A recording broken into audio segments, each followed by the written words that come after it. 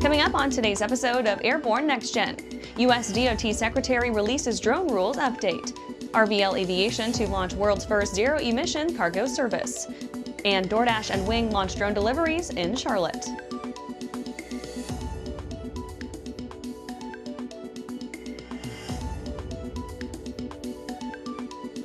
And I'm your host, Holland Lee.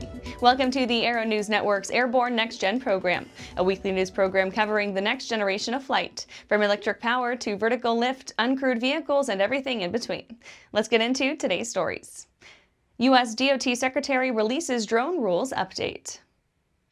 U.S. Secretary of Transportation Sean Duffy released an update on progress being made with proposed FAA drone rules controlling BVLOS operations and restricting UAS operations at a fixed facility site. These were sent on May 13th to the Office of Information and Regulatory Affairs for review. The Secretary wants to move the rules along expeditiously to enable stakeholders to understand their privileges and responsibilities as they make operational and other decisions. The office is under the Office of Management and Budget, and it reviews the details, legal and international impacts, and operational aspects of the proposed rules. These are discussed in open meetings with members of the media present, along with representatives from the FAA, DOT, and OMB, to hash out the constitutional, legal, and regulatory impacts of proposed rules and how they may be adjusted for implementation. The media are very interested in how the rules may affect their news gathering operations, and there was acknowledgement of a balance between potential safety considerations and interference by drones with emergency and law enforcement personnel versus the First Amendment rights of media organizations.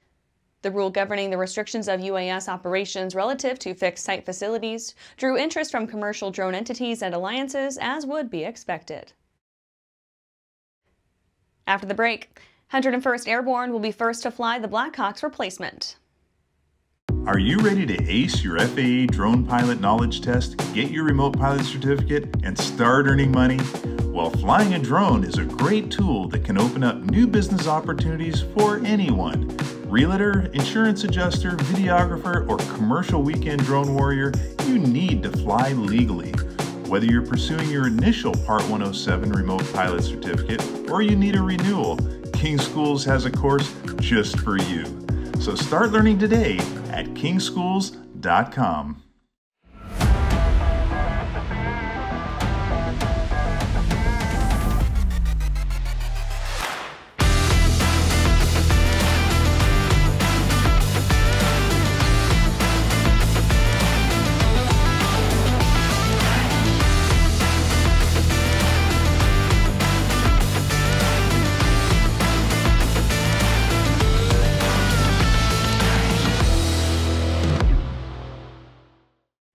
Welcome back. Now for some shorter stories in our Next Gen Minute. 101st Airborne will be first to fly the Black Hawk's replacement. The U.S. Army is tapping the 101st Airborne Division as the first unit to fly its new future long-range assault aircraft, recently designated as the MV-75. This helicopter will serve as a replacement for the beloved UH-60 Blackhawk. This decision was announced by General James Mingus, Vice Chief of Staff of the Army at the Army Aviation Association of America conference. The annual summit was held in Nashville, Tennessee. U.S. House and Senate bring bills enabling supersonic flight. Senators Ted Budd and Thom Tillis from North Carolina, Utah's Mike Lee, and Tim Sheehy of Montana were joined by Representatives Sharice Davids of Kansas and Troy Nehls of Texas in introducing bills in their respective chambers to legalize supersonic flight over land, which has been outlawed since 1973 due to the effects of the sonic booms.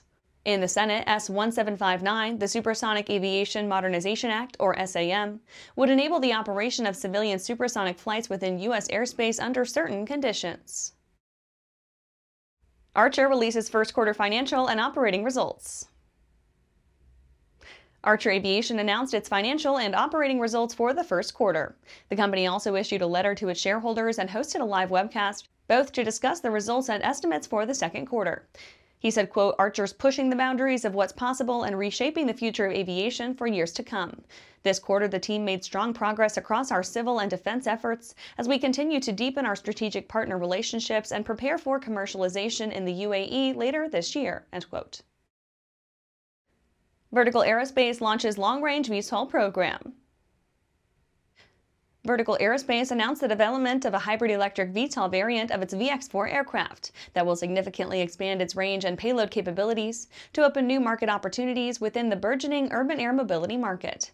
The hybrid electric strategy extends its all electric VX4, enabling novel possible applications in defense, logistics, and commercial segments, including air ambulance services that require higher payload capacities and longer ranges than current eVTOLs are capable of providing.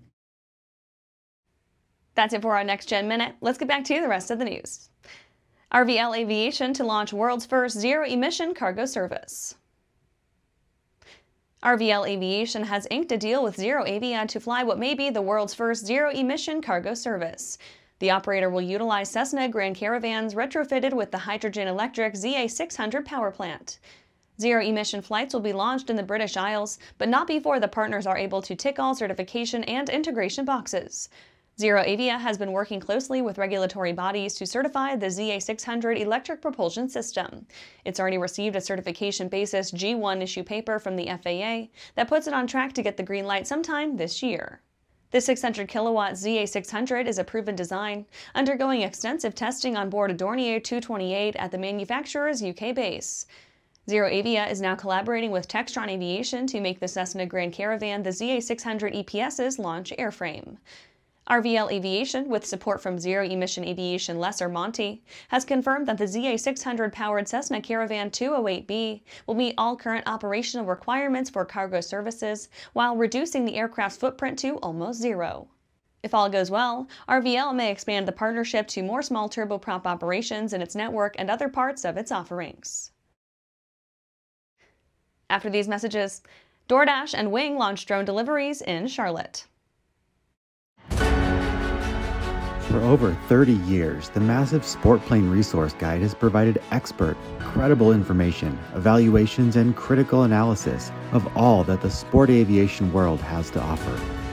The all new digital Sport Plane Resource Guide is coming with extensive multimedia features that are constantly updated, an even more comprehensive online guide to all things sport aviation. Available soon. www.sportplane.com. Welcome back. DoorDash and Wing launched drone deliveries in Charlotte. The partnership between DoorDash and Wing has for the first time introduced residential food delivery to Charlotte, North Carolina, as it expands operations beyond its current U.S. customers in Southwest Virginia and the Dallas Fort Worth metro area. The partnership first launched drone delivery in Australia in 2022. The drone delivery service is available to eligible customers in southern Charlotte who live within about four miles of the Arboretum Shopping Center. They are able to order from a selection of local and national restaurants, including Curry Junction, Matcha Cafe, Maiko, Joy Korean Food, and Panera Bread. Panera is the city's first national brand available for drone delivery, and for a limited time, customers can enjoy a bowl of Panera's iconic mac and cheese delivered via the DoorDash app for just a dollar.